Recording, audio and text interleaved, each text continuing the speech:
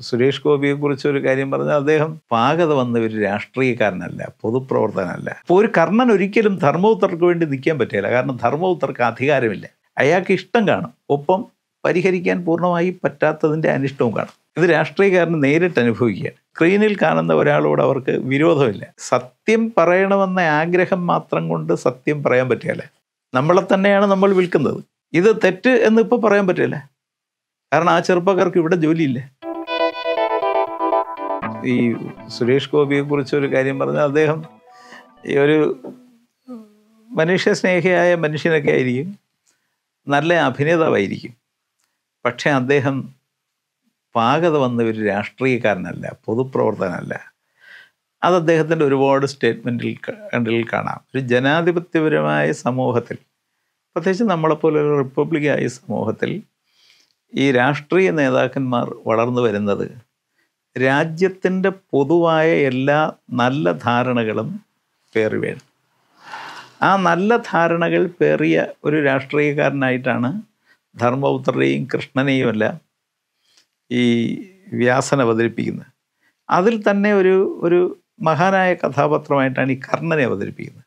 പക്ഷേ കർണന്മാർ എന്തുകൊണ്ട് വിദ്വേഷപൂർണമായ ഈ അർജുനനോടുള്ള വിരോധം കൊണ്ടാണ് അങ്ങനെ ആവുന്നത് അതിന് സാഹചര്യങ്ങളാണ് അയാളെ അങ്ങനെ ആക്കുന്നത്.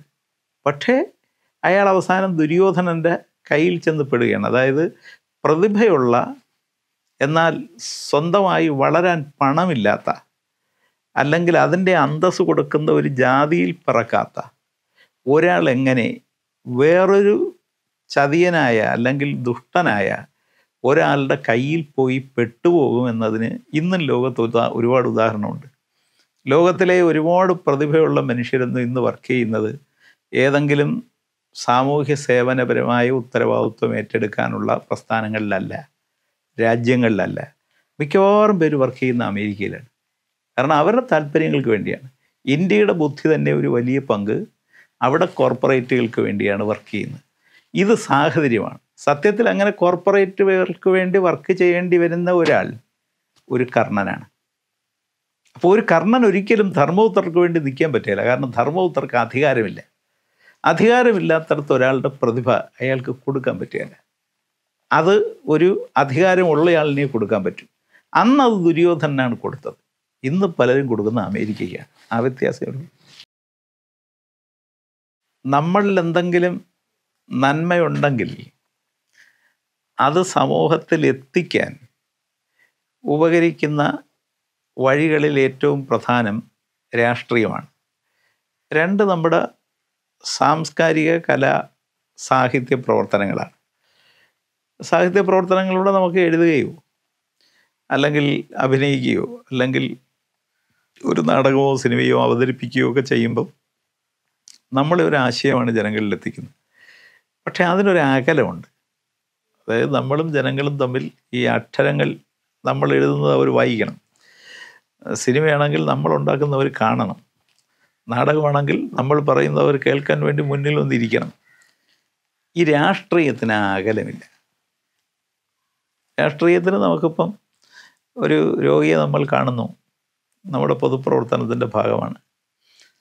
അയാളുടെ വേദന നമുക്ക് ബന്ധപ്പെട്ടവരുടെ അടുത്തെത്തിക്കാം.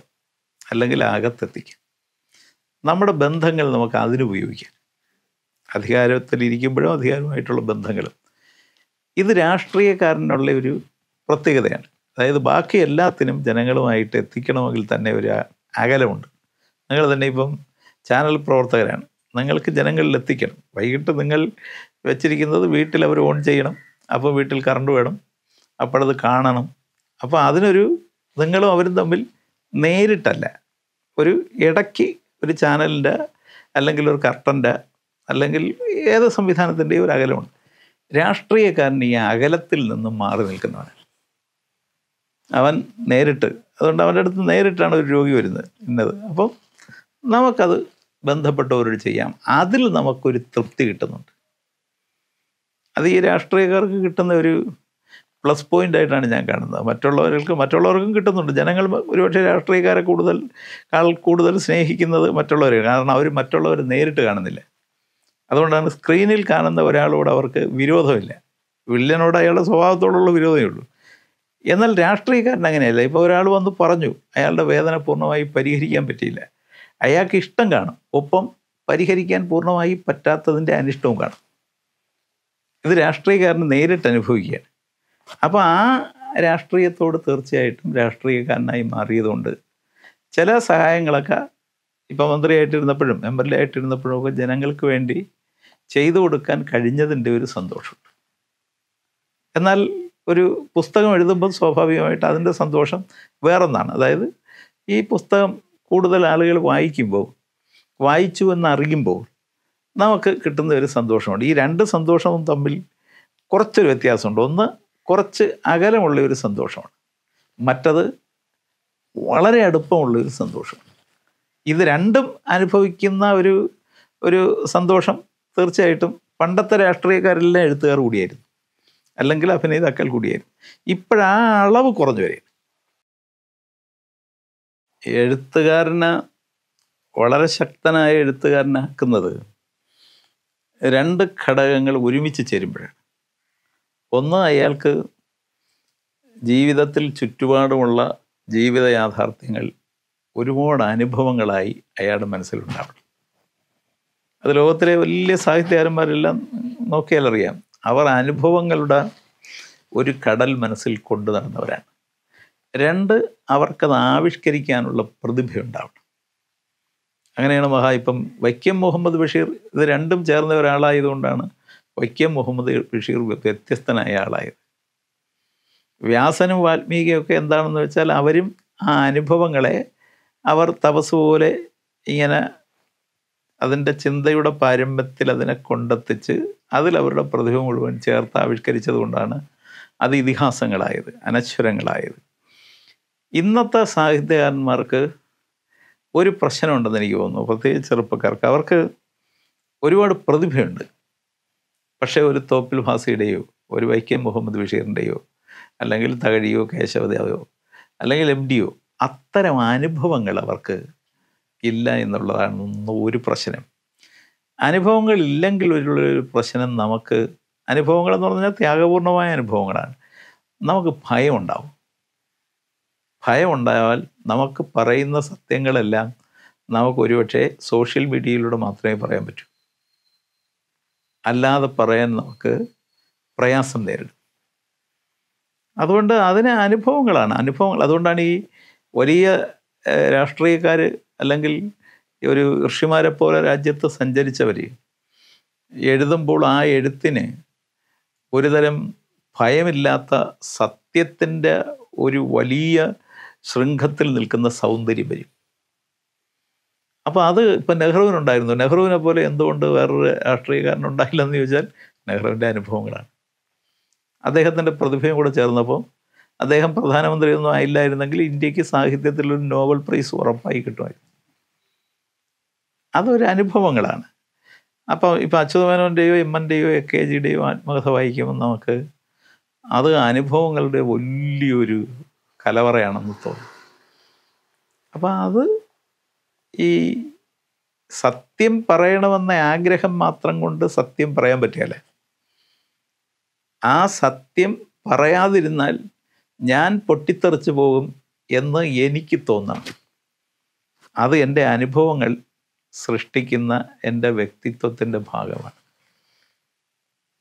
അതിലിന്ന് തീർച്ചയായിട്ടും കുറവുണ്ട്. അതുകൊണ്ട് അതുകൊണ്ടാണ് ഞാനും പലപ്പോഴും പറയാറുണ്ട് ചെറുപ്പക്കാർ രാഷ്ട്രീയത്തിൽ വരണം. ചെറുപ്പക്കാർ രാഷ്ട്രീയത്തിൽ വരണമെന്ന് പറഞ്ഞാൽ കക്ഷി രാഷ്ട്രീയത്തിൽ വരണമെന്നും അതിന് അർത്ഥമില്ല. ഈ രാഷ്ട്രത്തിന്റെ പ്രവർത്തനങ്ങളുടെ ഭാഗമാകണമവർ അതിലവർക്ക് ത്യാഗം സഹിക്കാൻ തോന്നണം. അതിലവർക്കുള്ള അഭിപ്രായങ്ങൾ പറയാനും അതിൽ നാല് പേരുമായി കൂടിച്ചേർന്നെങ്കിലും ചർച്ച ചെയ്യാൻ. ഇപ്പോൾ യൂറോപ്പിലൊക്കെ തിങ്ക് ടാങ്ക് പോലുള്ള സംവിധാനങ്ങളുണ്ട്. ഇപ്പോൾ കേരളത്തിലൊന്നും അങ്ങനെയില്ല. അപ്പോൾ അത് അതിന് അനുഭവങ്ങൾ കൊണ്ട് സമ്പന്നമായ ഒരു മനസ്സുണ്ടാവണം. ഒപ്പം അത് ആവിഷ്കരിക്കാൻ പ്രതിഭയുള്ള ഒരുപാട് പേര് ഇപ്പോഴും ഉണ്ട്. അപ്പോൾ അത് ആവിഷ്കരിക്കാൻ ജനങ്ങളോട് അല്ലെങ്കിൽ സമൂഹത്തോട് പറയാൻ അവർക്ക് കഴിയണം. ഒരു പ്രശ്നം എന്താണെന്ന് ചോദിച്ചാൽ ഈ യഥാർത്ഥമായ രാഷ്ട്രീയം വളരുന്നില്ല എന്നതാണ്. രാഷ്ട്രീയം എന്ന് പറയുന്നത് എന്റെ മോഹങ്ങളുടെ കാര്യമല്ല.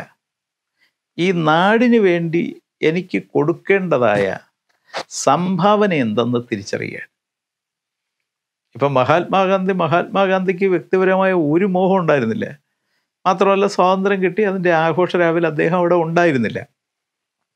അത് പൊതുപ്രവർത്തകന്റെ ഒരു മാതൃകയാണ്. അപ്പോൾ അത്തരം പൊതുപ്രവർത്തകന്റെ ഒരു മാതൃകയിലെ വലിയ പ്രത്യേകത എന്താണെന്ന് വെച്ചാൽ താൻ തന്നിൽ വളരെ ചെറുതായിരിക്കും. അതായത് എനിക്ക് ഇത് വേണം എന്നുള്ളത് എന്റെ മനസ്സിലുണ്ടായിരിക്കല്ല അതിലെ ലോക മാതൃകയായ ആദ്യം മാറിയ മനുഷ്യൻ ഇന്ത്യക്കാരനായ ബുദ്ധനാണ്. എന്നാൽ ഈ നാടിന്റെ വേദന മുഴുവൻ എന്റെ മനസ്സിലുണ്ടായിരിക്കും. ഇപ്പം സംഭവിക്കുന്ന അങ്ങനെയുള്ളവരും ഇപ്പോഴുണ്ട്. അത്തരം പൊതുപ്രവർത്തകരായ ആളുകൾ ഇപ്പോഴുണ്ട്. ഇല്ലാതെ പോയി എന്നൊന്നും ഞാൻ പറയല്ല. പക്ഷേ എല്ലാവരുടെയും മനസ്സിൽ അവരവരുടെ താല്പര്യങ്ങളുണ്ട്. എനിക്ക് ഇതൊക്കെ വേണം. അപ്പോൾ എനിക്ക് ഇതൊക്കെ വേണം. ഈ സമൂഹത്തിന് ഇതൊന്നും ഇല്ല എന്നത് എന്റെ ഒരു പ്രശ്നമാകാതിരിക്കുകയും എനിക്ക് കിട്ടാത്തത് എന്റെ ഒരു പ്രശ്നമാവുകയും ചെയ്യുമ്പോൾ അതിൽ കക്ഷി രാഷ്ട്രീയത്തിനപ്പുറമുള്ള രാഷ്ട്രത്തിന്റെ പൊതുവായ രാഷ്ട്രീയത്തിന് ഒരു പ്രശ്നം നേരിടുന്നുണ്ട്.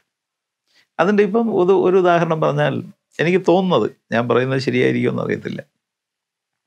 ഒരു ജപ്പാനിലെ ഒരു പ്രതിഭയുള്ള കുട്ടി അവൻ എത്ര പ്രതിഭ ഉണ്ടെങ്കിലും ആ പ്രതിഭ അമേരിക്കയ്ക്ക് കൊടുക്കുകയില്ല അല്ലെങ്കിൽ ആസ്ട്രേലിയക്ക് കൊടുക്കുകയില്ല അവൻ ആ പ്രതിഭ അവന്റെ രാജ്യത്ത് ചെലവഴിച്ച് അത് ഉൽപ്പന്നങ്ങളാക്കി ആ ഉൽപ്പന്നം അമേരിക്കയ്ക്ക് കൊടുക്കും ആ ഉൽപ്പന്നം ഇന്ത്യയ്ക്ക് കൊടുക്കും. നമ്മൾ നേരെ തിരിച്ചാണ്. നമ്മളിവിടെ ഉൽപ്പന്നം ഒന്നും ഉണ്ടാക്കുന്നില്ല. അല്ല പ്രകൃതി തരുന്ന ഉൽപ്പന്നങ്ങളല്ലാതെ ഉൽപ്പന്നം ഉണ്ടാക്കുന്നില്ല. എന്നാൽ നമ്മളെ നമ്മൾ നമ്മുടെ പ്രതിഭയെ അമേരിക്കയ്ക്ക് കൊടുക്കുകയാണ്. അതുകൊണ്ട് ഇവിടെ സംഭവിക്കുന്നത് എന്താണെന്ന് വെച്ചാൽ ഇപ്പോൾ കേരളത്തിൽ പോലും ഓരോ വർഷവും കേരളത്തിൽ നിന്ന് പഠിക്കാനായി പുറത്തുപോയി തിരിച്ചു വരാതെ അവിടെ പൗരത്വം സ്വീകരിച്ച് ജീവിക്കുന്ന ആളുകളുടെ എണ്ണം കൂടുകയാണ്. ഇവിടെ ഒരു പ്രശ്നമേ ജപ്പാനും നമ്മളും തമ്മിലുള്ള ഒരു പ്രശ്നം. ഐ ഐക്യു രണ്ടുപേർക്കും ഏതാണ്ട് തുല്യമൊക്കെയാണ്. പക്ഷെ അവരത് ചെലവഴിക്കുന്നത് അവരെ നാട്ടിലാണ്. നമ്മളത് കൊടുക്കുകയാണ്. നമ്മളെ തന്നെയാണ് നമ്മൾ വിൽക്കുന്നത്. അപ്പോൾ ഇത് നമുക്ക് ഒരുപാട് കാലം ഇങ്ങനെ പോകുന്നതാണോ ശരി? നമുക്ക് ഇവിടെ നമ്മുടെ പ്രതിഭയെല്ലാം കൂട്ടി യോജിപ്പിച്ച് അത് ഉൽപ്പാദന മേഖലയിൽ സന്നിവേശിപ്പിച്ച് ഉൽപ്പന്നങ്ങളാക്കി ആ ഉൽപ്പന്നങ്ങൾ ലോകത്ത് കൊടുക്കുകയാണോ ശരി? ഇപ്പോൾ ഉദാഹരണം പറഞ്ഞാൽ കേരളത്തിലെ എല്ലാവരുടെയും ആഗ്രഹം ഒരു ഇന്നോവ കാർ മേടിക്കുകയാണ്.